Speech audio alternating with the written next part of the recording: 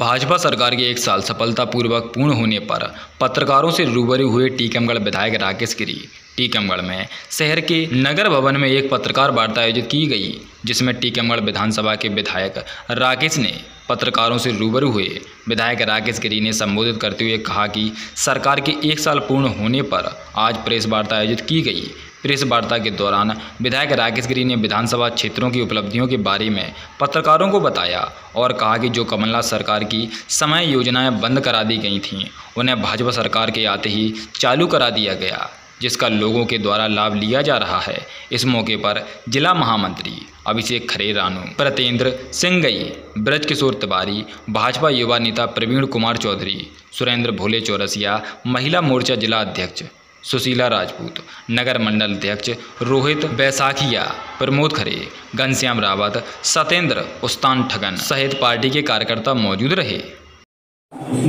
सरकार खाली हमारे लेकिन भारतीय जनता पार्टी की सरकार आई। सरकार आने के एक हफ़्ते में ही लॉकडाउन लग गया। और सरकार के पास जितने भी टैक्स आय के साधन थे सारे साधन बंद हो गए। उसके बाद भी हमारी सरकार ने मोदी जी छह हज़ार रुपये देते थे, उसी लॉकडाउन के समय हमारी सरकार ने निर्णय लिया था कि किसानों खाते में चार हज़ार दस करके दस हज़ार रुपये डाले। जबकि पास सरकार के पास कोई आय का साधन नहीं विषम परिस्थितियाँ नहीं लेकिन पूरे प्रदेश में जो कारखाने हैं उनको, और जो ऐसे जिनकी पर्ची नहीं उनको भी फ्री अनाज देने का काम हमारी सरकार ने किया है।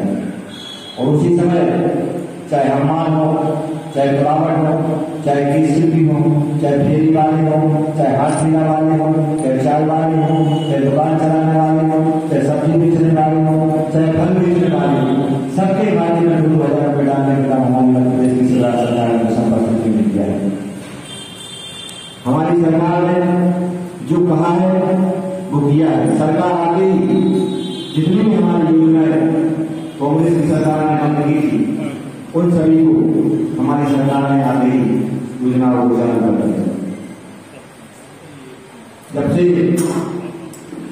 प्रदेश में सरकार आई है, सरकार आने के बाद अभी हमारे माननीय मंत्री हरिशंकर जी ने जो पार्टी के महामंत्री प्रेस को वार्ता की थी, जिसमें पूरे ज़िले में जो समग्र विकास किया है, उसके संबंध में हमने चर्चा की थी। और आज टीकमगढ़ ज़िले के लिए बड़ा ही सौभाग्यशाली दिन है।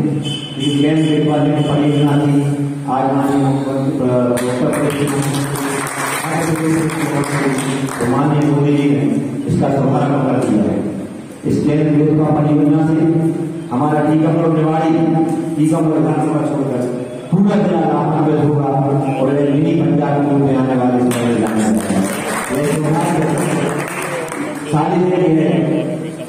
योजना की नींव हमारी नींव भारतीय वो केंद्र मंत्री थी, उस समय उन्होंने स्वीकृति कराई थी डीपीआर बनवाया था आज देश के सबसे प्रधानमंत्री माननीय मोदी जी, हमारे प्रदेश के यशस्वी मुख्यमंत्री माननीय शिवराज जी, उत्तर प्रदेश के यशस्वी मुख्यमंत्री माननीय योगी जी, केंद्र सरकार ने भी पैसा दिया है, इस बजट में केंद्र मध्य प्रदेश सरकार ने भी शामिल किया है, और उत्तर प्रदेश सरकार ने भी तीनों केंद्र परियोजना।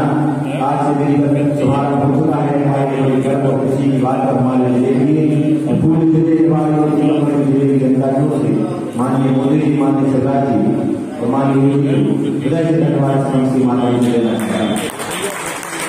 जब हमारी सरकार है, विकास के कार्य निरंतर गति से हो रहे हैं।